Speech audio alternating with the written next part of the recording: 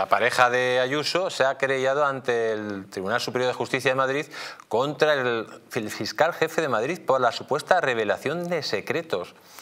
Es que una, otra y otra, no paramos de sumar. O sea, no solo que estemos ante el mayor caso de corrupción de la historia de España, que afecta de lleno al Partido Socialista, a prácticamente todos sus ministros, al presidente del gobierno y a su mujer, sino que además para taparlo están pringando a la Fiscalía, están pringando a Hacienda en un caso sin precedentes, o sea, que, que, han revelado secretos presuntamente y sobre todo que ante el momento, como decía Esperanza Aguirre, de llegar a un acuerdo entre el señor novio de Ayuso y la Fiscalía, el fiscal general del Estado da orden de que no se llegue a ese acuerdo y que hay que ir a juicio.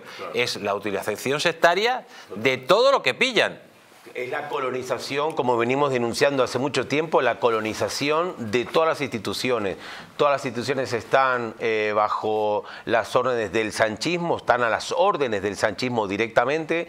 Lo hemos visto, el Tribunal Constitucional, toda la parte incluso diplomática, eh, se han eh, sustituido personas con gran reputación y de carrera por gente con carne socialista. Lo hemos visto también con la, esa señora directora para asuntos de Iberoamérica que ni siquiera sabía inglés, pero era socialista, ¿no? Y entonces en el caso de la Fiscalía es igual, es realmente gravísimo lo que está pasando con la Fiscalía porque realmente es un órgano que debería, y eso lo dice el, el Estatuto del Ministerio, eh, del Ministerio Público, lo dice específicamente la objetividad, la imparcialidad y la independencia. Esto lo dice el Estatuto del Ministerio Público, ¿no? Y realmente esto es gravísimo. ¿El fiscal jefe de Madrid? Debería, debería ir para adelante. Es una, es ella una, dijo... Es una señora Pilar, se llama Sí, Rodrigo, pero ella eh, actuó por órdenes del fiscal general, pero puso una, no- una nota anesa que lo hacía por órdenes del, del fiscal general del Estado. O sea, que a lo mejor Claro. que cae es el fiscal general del Estado. Bueno, también, efectivamente, pero también estamos ante esa, eh, esa- ese tema de dentro del orden jerárquico